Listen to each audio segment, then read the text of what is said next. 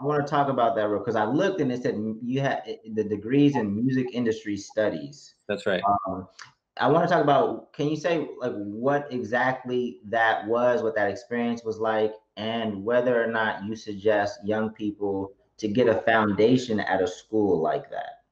Sure. Um, yeah, it was it was a great experience. I had a lot of really solid professors. Uh, George Howard, who's one of the founders of TuneCore, was there at the time. Mm-hmm. Uh, John Worthington, who's a like music tech genius. So there was a, a lot of um, great experiences. But I would say that most of my learning, you know, even though college is important for the connections and, and for the you know the class studies, most of the stuff that I really got out of it was outside of school, and that was just mm-hmm. from um, getting involved with uh, the recording scene and, and you know producing local rappers and stuff like that.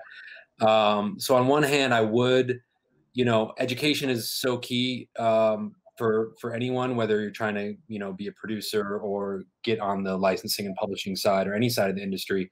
But I don't know necessarily if school makes sense anymore because it's so it's just so expensive that you know for the hundred thousand dollars you put down in tuition, you could take that type, you could take a tenth of that and invest that money into taking flights and buying people dinners and and starting your own business or um, you know you can intern without a, a, college degree just from from hustling. So uh, you know it depends. Everyone's situation is different. Some people are more uh, you know some people are better at, at doing the school thing and and that route and other people, you know, do really well. I know plenty of people that are in the industry and, and killing it that are high school dropouts, college dropouts, and they're the ones that just kind of found a way outside of the the typical like high school, college internship, you know, work your way up that way.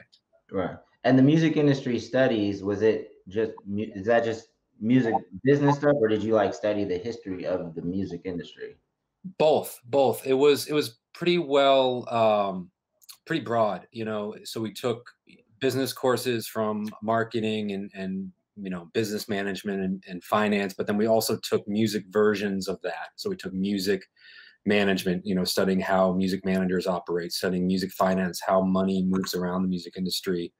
Um, so I had a great experience with it, uh, but it's also it is what you make it. You know, the people that I went to college with um, that are still killing it um, are the ones that found ways outside of classroom to you know find young artists to manage. You know, I went to college with uh, G-Eazy and Maddie B and that team. Like mm-hmm. they were starting all that stuff, you know, in in college over ten years ago, and then they just kept grinding and grinding and working their way up.